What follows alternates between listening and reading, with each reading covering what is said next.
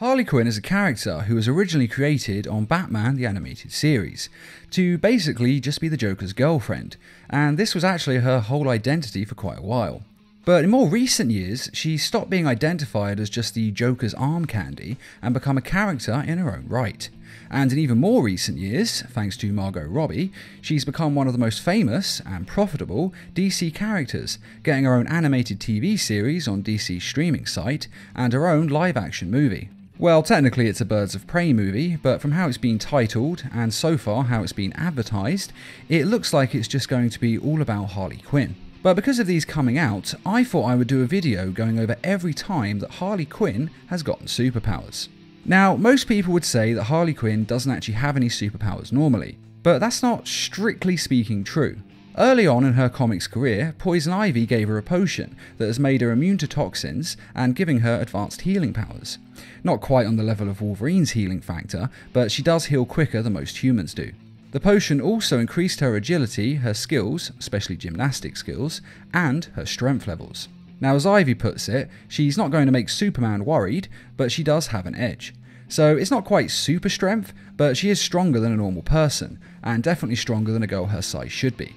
So if you ever wonder how she's doing things like that, it might actually be because she has super strength, because it's never really been made clear whether she still has these powers in the New 52 comic and the Rebirth series. But it would explain her heightened skills and abilities, and how she manages to survive all these battles with superpowered individuals. But one thing we do know for sure in the New 52 and Rebirth series is that she is still immune to poisons and toxins, we know this because Poison Ivy made sure she was immune because they're in a relationship together, and she wanted Harley to be able to touch her indiscriminately without having to worry about negative effects.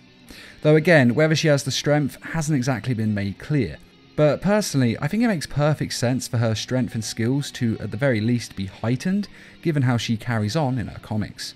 Now, in the TV show Justice League Action, a demon is giving out objects that give villains magic powers, and Harley is seen at the beginning of the episode with a staff that is giving her magical abilities. And these abilities mean that she is able to fly, as well as command electricity, or lightning given the scale of it. Though exactly what other powers she may have is unclear, because she doesn't actually have the staff for very long and is very quickly defeated by Zatanna and Batman. And in the Countdown to Infinite Crisis series, issue 10, she goes to Apokolips with some other girls to free the gods, and as a reward was granted powers by Thalia, the Greek muse of comedy. Now, she was given the power of cunning along with a large hammer, and what exactly the power of cunning is, is unclear. Maybe she just made her a bit smarter or made her a bit better able to fight. But it would make sense that she also becomes enhanced, meaning stronger, tougher, and faster, especially given the giant hammer she's given. After all, without some super strength, it wouldn't be much use against all these superpowered individuals.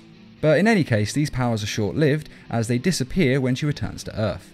And in Harley Quinn issue 45, she also gets a giant hammer and also on Apokolips, when she gets powers from Granny Goodness. For some reason, Granny thinks Harley is a good candidate for the Furies, who are an all female elite team of metahumans who fight for Darkseid. So Granny brings Harley to Apokolips and gives her a hammer that is either amazing technology or just plain magic. And it gives Harley super strength, the ability to fly, and makes her pretty tough and pretty much semi invulnerable. So she does have these powers for a few issues, flying around on Apokolips doing pretty much whatever she wants. And the hammer also has a granny box in it, which is basically just a mother box, but they've given it a cuter name. This means that she can boom tube to anywhere in the universe instantly, along with all the other abilities that a Mother Box has. And they have quite a lot, so I'm not actually going to list them here, but feel free to Google it. And in the TV show Birds of Prey, the main bad guy in the series is Harley Quinn, though she's nothing like the Harley that we know. Instead of being an insane gymnast with a love of large hammers, she's instead a very intelligent psychiatrist who is treating Huntress, who is the show's main heroine and Harley uses her psycho talk to manipulate Huntress and everyone else around her to get what she wants, which is basically revenge for the Joker's death. And then later it seems that she just wants to become a powerful supercriminal and rule Gotham. Now, as I say, the show isn't actually that great and only lasted for one season with 13 episodes. But in the season finale, she uses technology to transfer meta powers from a man to herself and it gives her mind control powers that allow her to hypnotize people into doing whatever she wants them to. From barking like a dog,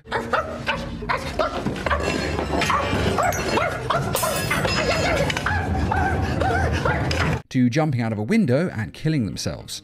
and she uses her powers to broadcast a hypnotic wave over all of the TVs of Gotham so she can make it so she commands everyone in Gotham City.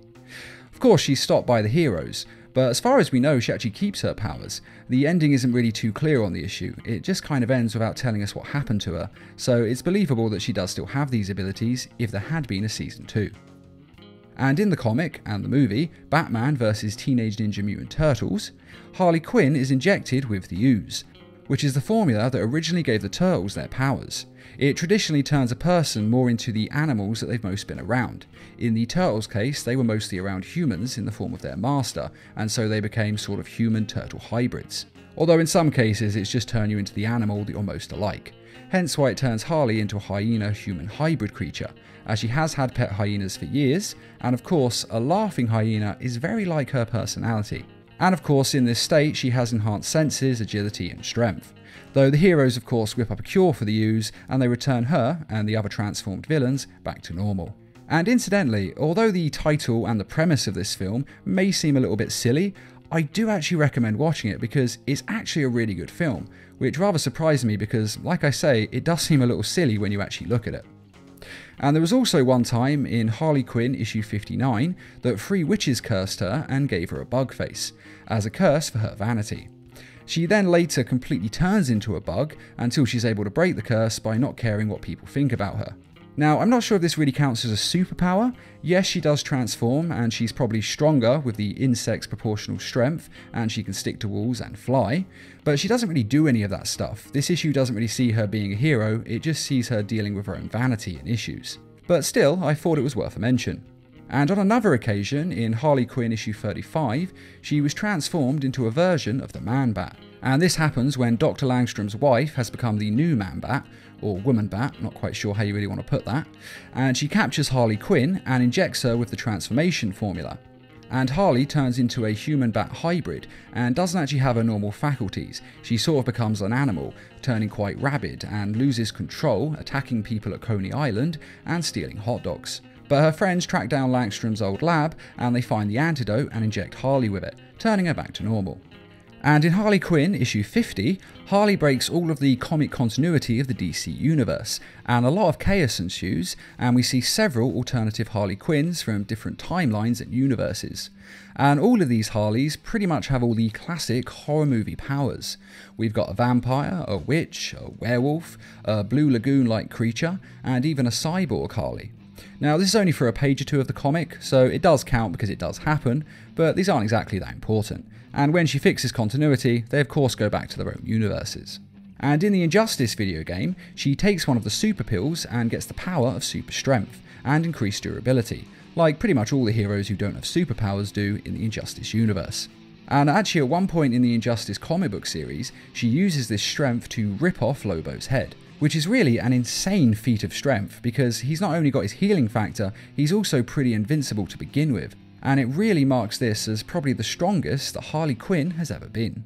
Or at least it was, until Harley underwent six trials from the Lords of Chaos and Order, and when she passed them, she became their champion. This is in Harley Quinn issue 66, where she became the Angel of Retribution, giving her immortality, a giant flaming sword, and cosmic powers including, but not limited to, flight, including flight through space, super strength, and of course, toughness, and pretty much invulnerable. After all, she is immortal. And her first act with these powers is to try and kill the Lords of Chaos and Order who gave her the powers. This is because the final trial she had to overcome was actually the grief of her mother dying, meaning the Lords of Order and Chaos killed her mother just to see how she would react. So she wanted revenge. And she did become the Angel of Retribution after all, so it kind of makes sense. But the problem is, the lords are deities, so of course, she can't actually kill them. They're immortal. And they also reveal that they didn't actually kill her mother. Her mother was actually always going to die of cancer. They just used it as a test to see how Harley would react and whether she could overcome the grief. So Harley then tries to give up her powers in exchange for them bringing her mother back to life, which for the Lords of Chaos and Order is literally nothing. That's the same as me or you nipping to the shops. They can do it easily. But Harley's mother doesn't actually want to come back, as she said it was just her time to go. Which personally I think is kind of dumb, because if anyone could actually be resurrected, they obviously would want to. Of course, resurrection is impossible, so it's kind of a moot point, but you know what I'm saying. But even so, Harley decides that she doesn't actually want these cosmic powers, because having them just complicates everything. So she gives them to a friend of hers instead, and just becomes regular Harley Quinn again. And that's all the times that Harley Quinn has gotten superpowers. But lastly, I thought I'd quickly go over all the times that she has wielded power rings. Now, I normally mention power rings as separate to superpowers, since they're technically just superpowered gadgets, not powers, but seeing as how it's actually only a few times she's done it, I thought I'd combine the videos this once. And in the series, Harley's Little Black Book, Harley basically just hangs out with different superheroes in each issue. And one week, she hanged out with Green Lantern. And in the story, an alien crashes on Earth with a few different power rings, and the guys who find them decide to sell them online on Weebay, which is of course DC's eBay. And after missing out on buying the green power ring, Harley's upset and buys a black and red power ring instead, which is a special one off ring seemingly made just for this comic, which is of course a merging of a red ring and a black ring. Now, when Harley puts this on, it does give her the same powers as a normal lantern, but it also seems to affect her mind and sends her nuts. Well, more nuts than she usually is, and she sort of turns into some sort of semi evil person who goes around on a mad crime spree that is basically teaching jerks lessons. And because of this, Green Lantern turns up and the two of them get in a fight. Now, like most superhero fights, it ends in a draw, or pretty much a draw. That is until more aliens turn up looking to get the power rings that were lost on Earth. They attack Harley Quinn and are able to take her ring from her. And then she and Green Lantern team up to take the aliens down. And at one point, the Hal Jordan Green Lantern gets knocked out, and so Harley Quinn takes his ring and becomes a Green Lantern in order to save them. So she actually wields two power rings in the same issue. And in the Sinestro comic, issue 18, she is temporarily granted a Yellow Lantern ring to fight in Sinestro's war. Though once the fight is over, the ring abandons her, it was actually only a quick drafting into the wall, and several people get them, including Superman and Wonder Woman, but they quickly lose them once the fight is over. And that is every time that Harley Quinn has gotten superpowers and wielded power rings. Now, I have to say, more so than any other person I've done a superpowered video on, Harley Quinn has been the most difficult to find them all in my research. So there is a chance that this list has missed one or two times when she's gotten superpowers.